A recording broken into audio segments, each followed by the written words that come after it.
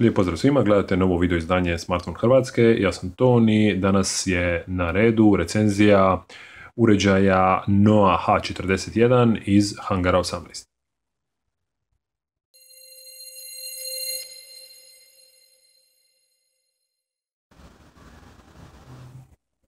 To Noa H41 vjerojatno mi je poznato i treba vam biti, budući da smo nedavno na testiranju imali i njihov uređaj Noa H42 koji dolazi sa nešto skromnim specifikacijama, no ipak e, vrlo sličan uređaj ovome, naime oba dolaze u praktički istom e, kućištu kojeg je Hangar 18 posebno dizajnirao, tako da u principu ne sliči niti na jedan drugi uređaj na tržištu, barem za sada. E, ovdje nam je riječ o nešto malo boljem zaslonu, 5-inčnom ponovno, međutim u HD rezoluciji. Prednjicom uređaja dakle, dominira taj veliki zaslon, ispod imamo kapacitivne navigacijske tipke koje su eto tako iscrtane na kućištu i nažalost nisu osvjetljene. Iznad zaslona, ovdje gore vidite zvučnik slušalice i oko prednje kamere, tu se naziru nekakvi senzori, opet mi nedostaje ona LED lampica obavijesti. E, svi bridovi uređaja e, urejašeni su ili da tako kažem ukrašeni ovim nekakvim lažnim kromom pa izgleda nešto malo bolje a na ovom lijevom boku nemamo baš ničega, dok na desnom imamo tipku kontrole glasnoće i power tipku. Jedna i druga tipka e, imaju solidan odziv pod prstima, jako lijepo klikaju i točno znate kad ste ih e, pritisnuli. E, gore imamo micro USB za sinkronizaciju i punjenje, 3,5 mm izlaz za slušalice, a na donjem bridu imamo samo rupicu mikrofona ovdje i to je to. Stražni poklopac, E, upoznali smo ga dakle već ranije na modelu H41. E, svidio nam se i onda, pa mi se tako sviđa i sada, budući da je riječ o jednom nekakvom polikarbonatu ili plastici sa mat završnim slojem koji onako gumirano djeluje i protuklizno. E, ispod njega ćete vidjeti bateriju i ostalo za sekundu. Dakle, tu nam je oko 13 megapiksele kamere sa LED bjeskalicom ispod i NOA logom tu dolje. Tu ovdje imamo glavni zvučnik koji nažalost onako dosta se zaguši kad ga kad uređaj polegnete e, na ravnu površinu. Ispod stražnjeg poklopca koji se skida relativno lagano pronaći ćete bateriju kapaciteta 1900 mAh te dva utora za standardne SIM kartice i jedan utor za micro SD kartice. Ovdje pak imamo onu antenu za NFC, budući da ovaj uređaj podržava i NFC.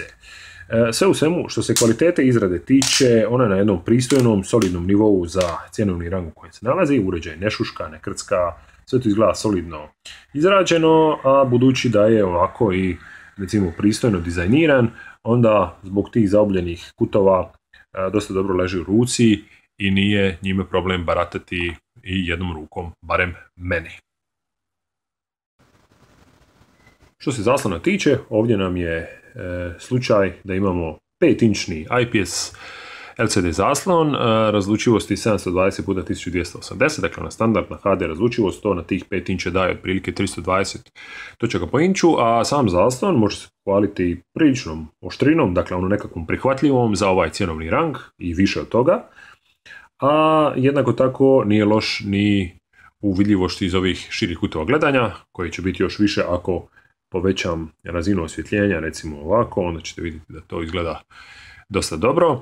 Jednako tako tom e, maksimalnom razinom osvjetljenja zadovoljit će vaše potrebe i na otvorenom, a ono što je bitno, a zna se dogoditi da kod ovih kineza i nije baš u redu, ovdje jest, e, je to da uređaj ima odličan odziv pod e, dodirom i nema onaj nikakav plastičan dojam dok ga dirate, nego onako poprilično solidno. Dakle, u ovom cjenovnom rangu vrlo, vrlo, vrlo, vrlo pristojan zaslon.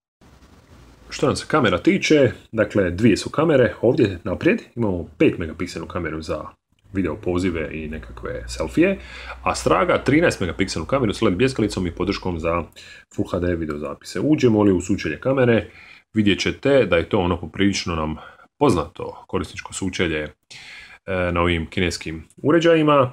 Dakle, obje tipke okidača, fotoaparata i Sad on ovdje uključuje blic. Isključim li blic vidjet ćete da je brzina ukidanja još brža. Ovdje dolje nam je e, tipka snimanja videozapisa. E, moguće je upravljati fokusom ručno kako u fotoaparatu, tako i u e, videokameri. Evo vidite ovdje snimamo sad Full HD video. Možemo pauzirati, nastaviti, okinuti fotografiju. Dakle, solidno. Što se nekakvih mogućnosti postavki tiče, ovdje vidite načine rada, imate ovaj automatski, imate e, način fotografije uživo, dakle snimi nekakav mini filmić pa ga kombinira sa fotografijom, ništa nešto posebno, estetika lice kaže, onda panoramski način, a uđete li dublje u postavke, moći ćete se poigrati i ekspozicijom, efektima boje, balansom bijele boje i tako dalje. E, u fotoaparatu, ovako, uključit ćemo ovaj, pa ćete onda sad vidjeti. Dakle, možete birati među predefiniranim scenama, pa su tu onda nekakve predefinirane postavke koje će vam donekle pomoći. Tako Što se kvalitete fotografija tiče, u uvjetima e, dnevnog svjetla, dok su E, dok imate pardon, idealno osvjetljenje, fotografije će biti posve pristojne u uvjetima slabijeg osvjetljenja, šumu ima dosta, pa ono, i nije baš nešto naročito, ali recimo da je prihvatljivo. Što se video zapisa tiče, vidjet ćete u nastavku, nije baš nekoličenje glatkoće, ali e, za ovaj cjenovni rang ponovno ok i prihvatljivo.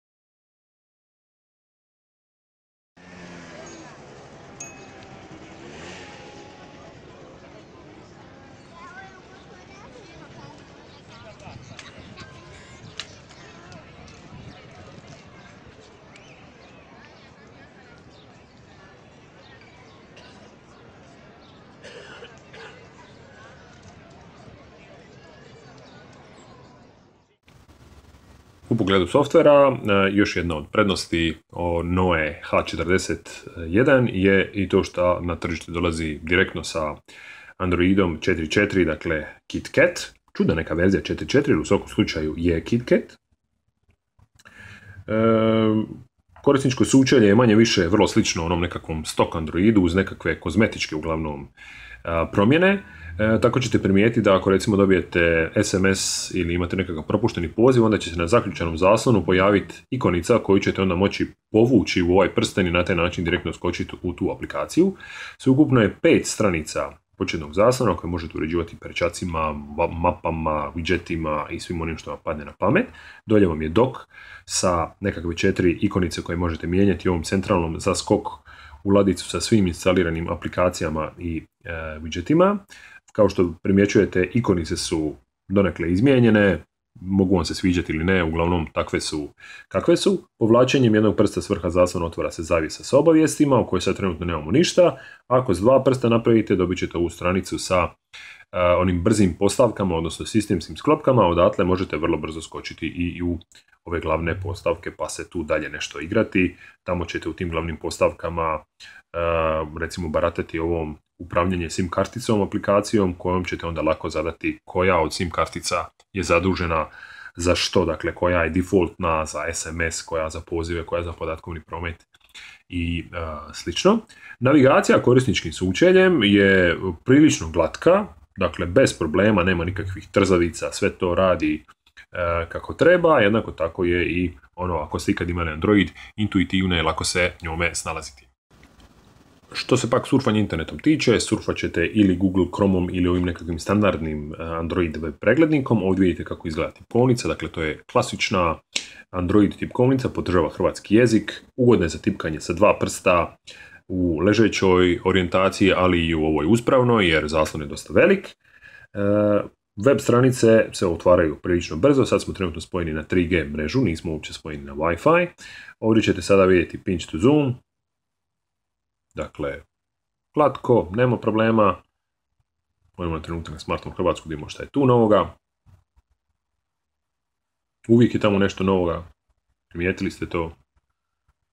Evo ga, dakle, i za surfanje Noah H41 posve dobro. U multimedijalnom smislu jedna od glavnih aplikacija bit će ona galerija, u njoj imate prikaz fotografija i videozapisa po nekakvim albumima, lokacijama i vremenu snimanja. Vidite da se videozapisi ovdje imate nekakav preview, se to čak vrti i to ovdje vam je Full HD video, ovo je preview njega. E, fotoaparat, kamera, aplikacije, odnosno fotografije su tu. Dakle, fotografije, ovo je sad i nekakvih deset fotografija koje sam snimio malo prije, ovo su fotografije snimljene uređajem e, nešto ranije. To ja gledam utakmice u Parkiću. Vidjet ćete galeriju fotke da sad ne gnjavimo s time. Već iz galerije možete zavrtjeti određene formate videozapisa. Ovo ovdje je Ajmo odabrati MX player će biti lakše i bolje. Ovdje ćete sada vidjeti Full HD trailer za solidan SF film. Bez zvuka nam se vrti jer kao da nam tu nešto fali. Ajmo ovako, dobro to. I ovo, i ovo. Evo ga.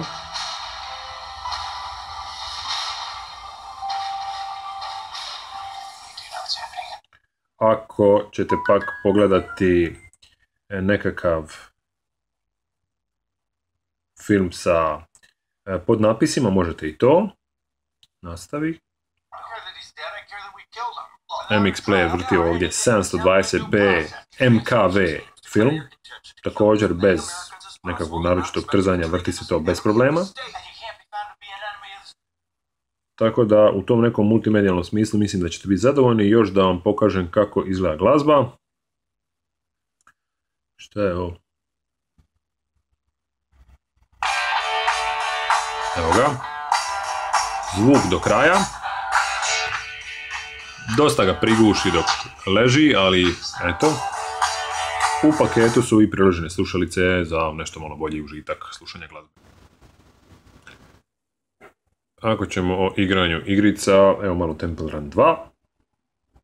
Da vidite kako se ta e, složena i komplicirana grafički zahtjevna igrica vrti na Noi H41.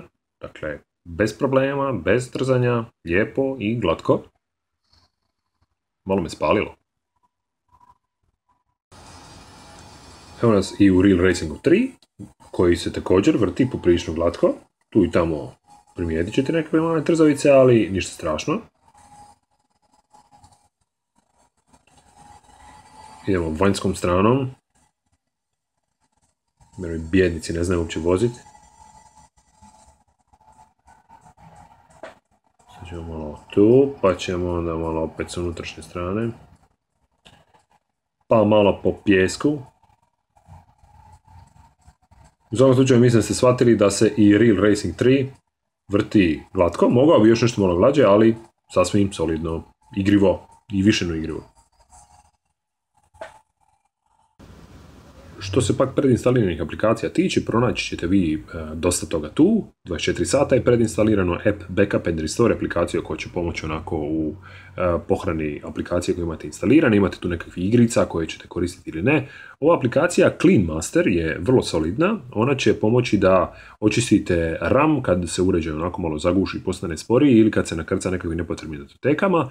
Ona će na početni zaslon postaviti i ovu ikonicu jedan klik ubrzivač, pa kad kliknete na nju, ovako, on će zapravo pobiti sve što se događa u pozadini i očisti za vas RAM. U ovom slučaju očistio nam je 168 MB RAM, što nije mala stvar. E, Kingsoft Office, e, korisna aplikacija za uređivanje i kreiranje Office datoteka, aplikacija FM radio poslužit će za slušanje glazbe, ako spojite one žične slušalice, a na uređaju ćete pronaći predinstalirani ovaj upravitelj datoteka koji je solidan, te aplikacije poput Viber, e, Whatsapp i Facebook koje biste vjerojatno i onako i sami nakon toga instalirali. Jedan od jačih aduta uh, NOA uh, H40 jedinice je i Mireo Don't Panic cestovna navigacija, posve besplatna sa odličnim kartama Hrvatske i zemalja u okruženju. Dakle, definitivan jedan plus i još jedan dodatak vrijednosti u ovom uređaju za tih 1500 kuna koliko košta. Što se pak ovih sirovih performansi uređaja tiče, ovdje sad vidite benchmark rezultat.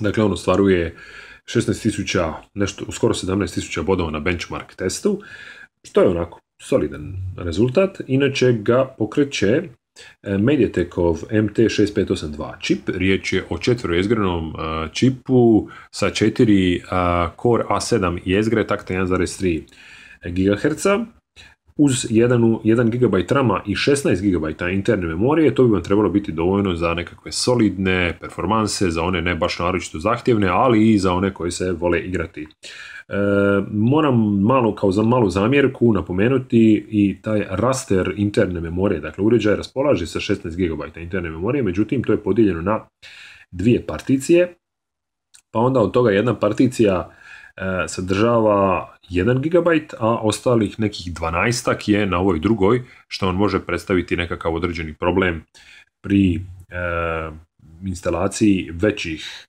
aplikacija. E, što se tiče memorijske kartice, podržana je i ona i određene aplikacije e, mogu se premjestiti na SD karticu, dok neke druge ne mogu. Sad ste vidjeli da se recimo ova nije mogla, ova također neće da vidimo možemo li recimo Kingsoft Office, ne možemo ni nju, da vidimo možemo li MX Player, e, nju možemo premjestiti na unutarnja pohrana ako nam je to nešto bitno ili ako nam je to neka guž. Dakle, možemo je prebacivati sa SD kartice i uh, obrnuto Baterija ispod poklopca je izmjenjiva baterija kapaciteta 1900 mAh, riječ je o liti polimerskoj bateriji i ona će novi H41 sa nekakvim srednjim intenzivnim korištenjem e, omogućiti da izdrži dan. Dakle, od jutra do odlaska na spavanje ne bi trebalo biti nikakvih problema. Oni štedljiviji i koji neće koristiti dva SIM utora, već samo jedan i nisu baš nešto skloni nekakvom naročitom igranju i prevelikom čačkanju po telefonu, možda će moći produljiti dodatno malo tu autonomiju. E, definitivno je igranje igrica e, nešto što najviše baterije e, pojede, pa recimo za nekih pola sata igranja real racinga i Temple Runa će vam pojesti između 15 i 20% kapaciteta baterije, dok će recimo pola sata reprodukcije e, HD videa uzeti nekih 15% baterije, tako je barem bilo u ovom nekakvom testu e, kakvog sam ga ja proveo. Dakle, baterija e, prosječna, ipak je ovdje HD zaslon, tako da od jutra do navečer, do odlaska na spavanje, ne biste trebali imati problema. Zaključno za kraj, da podvučemo crtu, možemo reći da Noa H41 s onim što nudi, po cijeni od oko 1500 kuna, ipak će zadovoljiti većinu. E, nisu to pak oni baš najzahtjevniji korisnici, ali ipak većinu bi trebalo zadovoljiti i trebalo je biti posve dosta. Unatoč par kompromisa na koje morate pristati prije to, prije svega mislim na ne baš tako super kameru i izostanak e, LED lampice, obavijesti, e, neosvjetljene kapacitivne tipke i dosta slabu bljeskalicu kamere. U tom cjenovnom rangu teško da ćete od brand name uređaja naći e, nešto bolje, nema šanse. A kao jedan od jačih aduta je definitivno i e, Android KitKat koji dolazi predinstaliran na uređaju, te Mireo Don't Panic, e, besplatna cestovna navigacija koja dolazi u paketu sa kartama susjednih zemalja. Tako da, jedan solidan, prilično povoljni pametni telefon iz hangara 18. Eto ga, toliko o Noi H41. Ako vam se svidjela ova prezentacija i video osvrt uređaja, dajte na koji lajkić, pretplatite se na Smartphone Hrvatska YouTube kanal, više informacija o ovom, i drugim uređajima naravno pronađite na smartphonehrvatska.com. Hajde bok!